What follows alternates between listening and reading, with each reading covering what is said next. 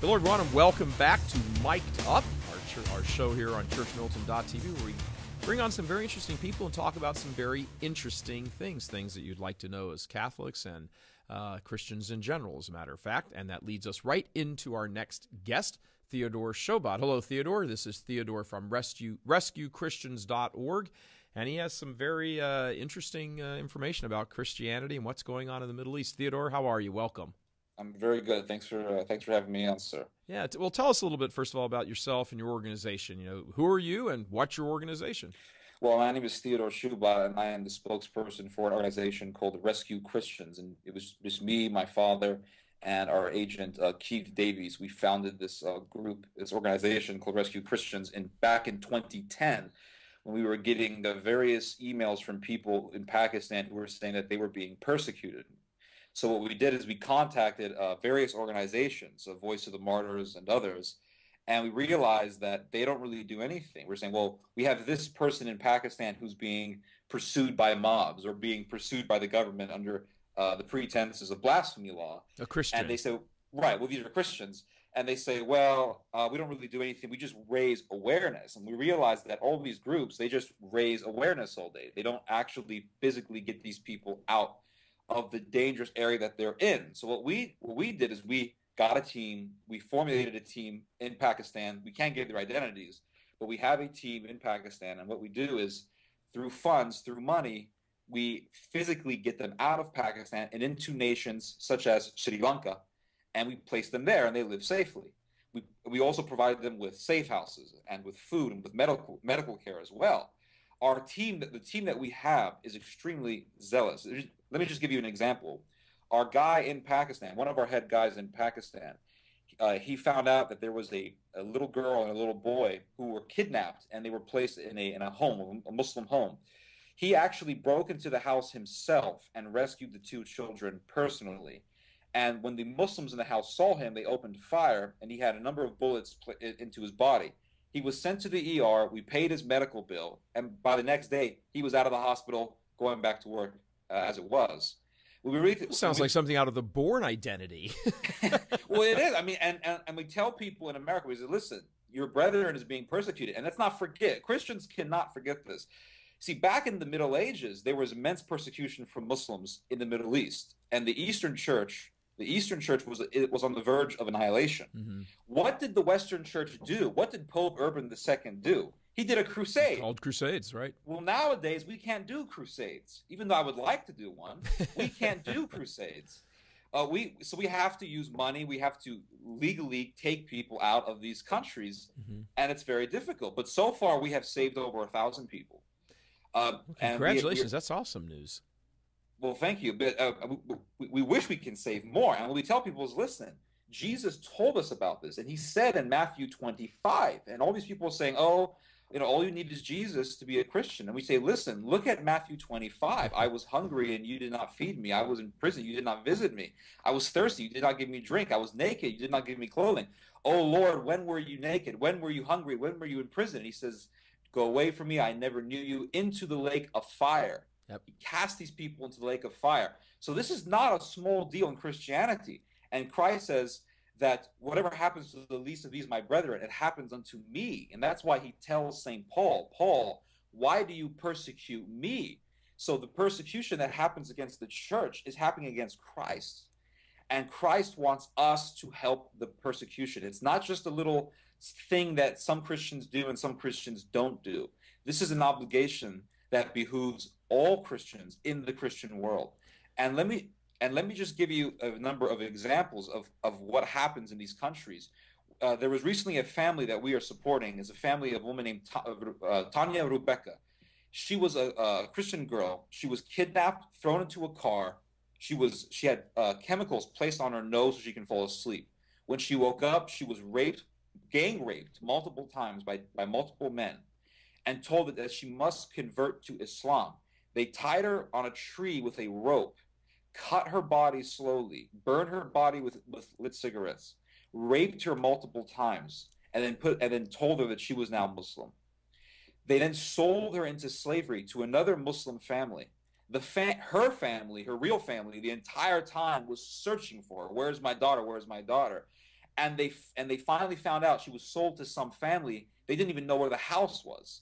Eventually, they found this girl and they brought her back to, to their home. But it, this this went this was within a time of, of within a year actually. Another story in Lahore of this year, I believe in March of this year, they took the uh, the Christian homes, over 200 Christian homes in Lahore, burnt down. We found a video that was filmed in Lahore by someone there. We put put the video on rescuechristians.org, and it shows this family walking into their home after this great riot and saying, "Where's our safe?" All the money that they've been saving for their entire lives is gone. The safe is gone. And then they say, Where is my daughter? Where is my daughter? The daughter is gone. There is no one there. There is no one there. The daughter is gone. And we, we, I must ask the audience, how would you like it to live every day not knowing whether your entire life savings will be taken away, whether your house will be burned down, whether your daughter will be taken to be a sex slave for the rest of your life, for the rest of her life if you don't find her? And the chances of you finding her is will take a miracle actually. This is the lives that Christians live, the saints live every day in Pakistan. And in, you look into the book of Revelation, I saw the saints that in heaven who were beheaded for the sake of Jesus Christ. We, we talk about the persecution that happened under pagan Rome, but we're not talking about the persecution that's taking place right now. And when we look into the history of the church, we find out that after, for example, after the, the death of Constantine, the Arian heresy took the roots of the government in the Roman Empire, and they began to kill the Christians who believed in the Trinity. Well, this is what Islam is. Islam is merely the Arabian offshoot of the Arian heresy, and they are killing the people who they see are are wrongly believing in the Holy Trinity, and that's why they're killing these people. We don't realize that the devil is after those who believe in the Holy Trinity. Theodore, let me ask you. Uh, I, I, mean, if you have uh, your organization has mm-hmm. saved a thousand uh, Christians in Pakistan over over what time period? Since 2010.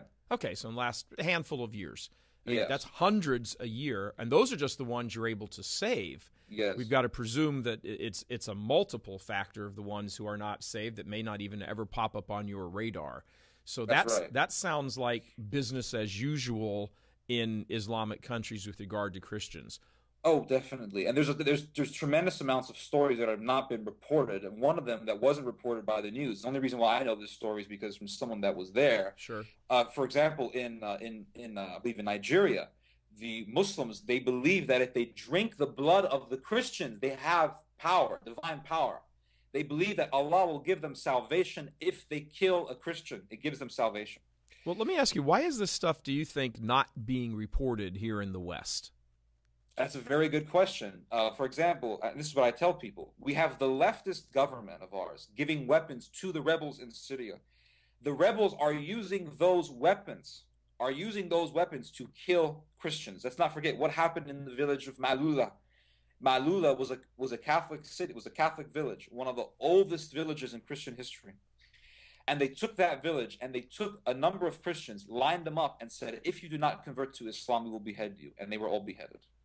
They went and they went into a, a local store. They took a man and they said, they said to him, "If you don't convert to Islam, we'll kill you." He refused. They slit his throat. They called up his fiancee and they said, "We just slit the throat of your husband, and Jesus never came to save him." This is the diabolical roots of this religion. And the di- and, and to answer your question, the media is not reporting it because the media is of this world. And they are in line with the diabolical, as you know very well. Sure, absolutely. And and the people in America who are supporting the sodomites, who are supporting the homosexual agenda, the homosexual agenda, which says if you don't accept homosexuality, you're going to get a lawsuit the, the state of Iowa just did a lawsuit against the Mennonites because they refused to have a, a homosexual wedding in their wedding center. Mm-hmm. And the same people who want to persecute Christians in America are the same people who are supporting the persecutors of Christians in the Muslim world. And this, I believe, is not a coincidence. No, no, does, no, not at all, not at all. If I mean, if if you elevate the all of these examples to the spiritual plane, which is really where they're, that's really where, yes. where it resides at the beginning and the end of the day. Uh, it's not very hard to figure out what's going on.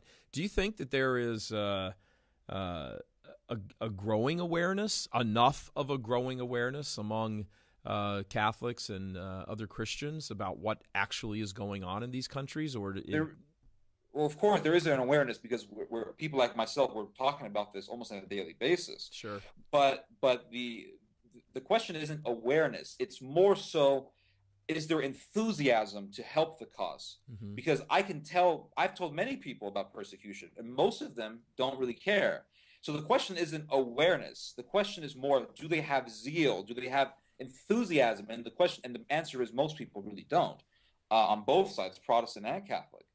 Uh, and I have talked to uh, one, for example, I have talked to a Catholic priest one time, and I asked him, I said, "Listen, let's do something for the persecuted. Can I just talk to your congregation? Can I do something to aware to raise awareness to get people to join this cause?" And they're just they don't care. I mean, they they'll tell you right there, "Listen, we're not interested in this. We're not doing this. This is not our calling.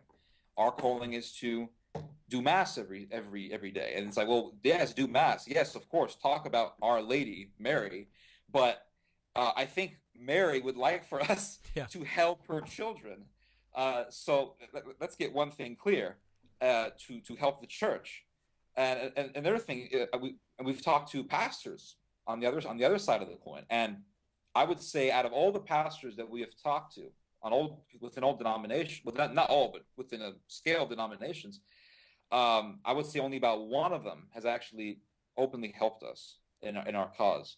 Let me ask um, you something, Theodore. We just got a couple of minutes left, so people can understand kind of the process. So, sure. Uh, the website again is rescuechristians.org. Rescuechristians.org. Right, yes. I've got it up on my screen right now, my big screen here, because I have glasses, and if I don't have a big screen, I have to put on glasses.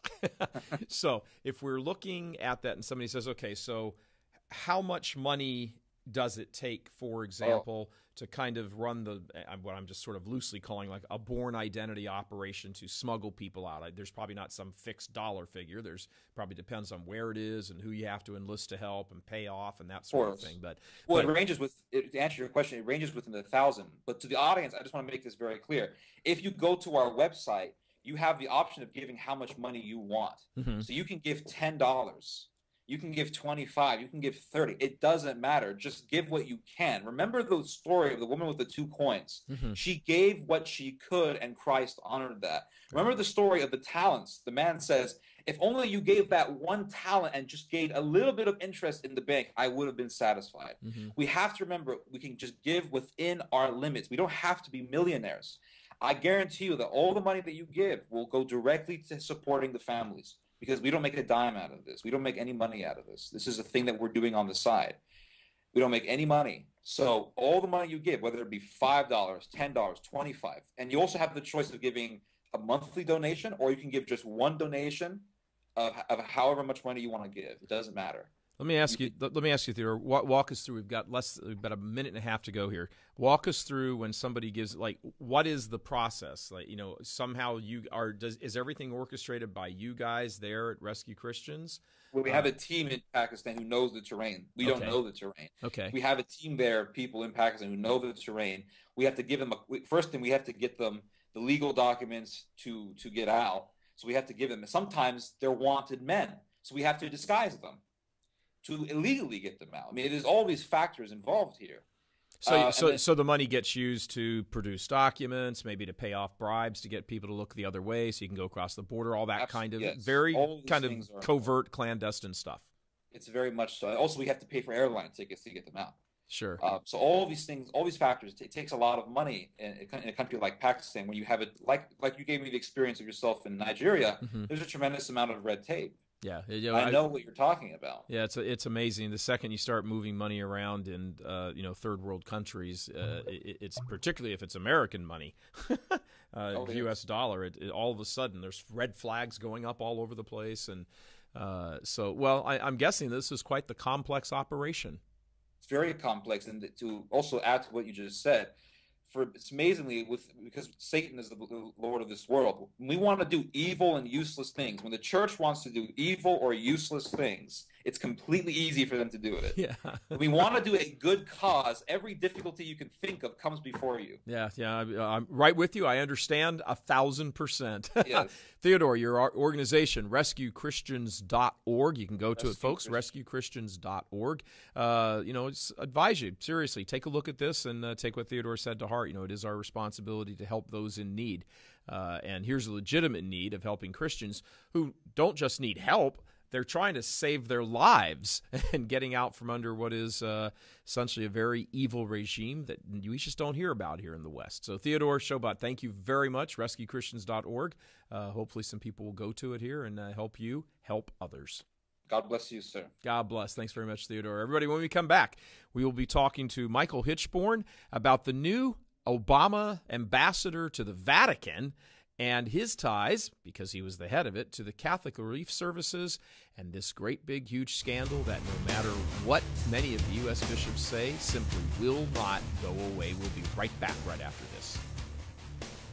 Michael Voris launched his apologetics mission with his groundbreaking series, The One True Faith. This series, with over 100 hours of Orthodox commentary, covers every possible Catholic topic in tremendous detail. To explore the One True Faith, sign up for a premium membership today.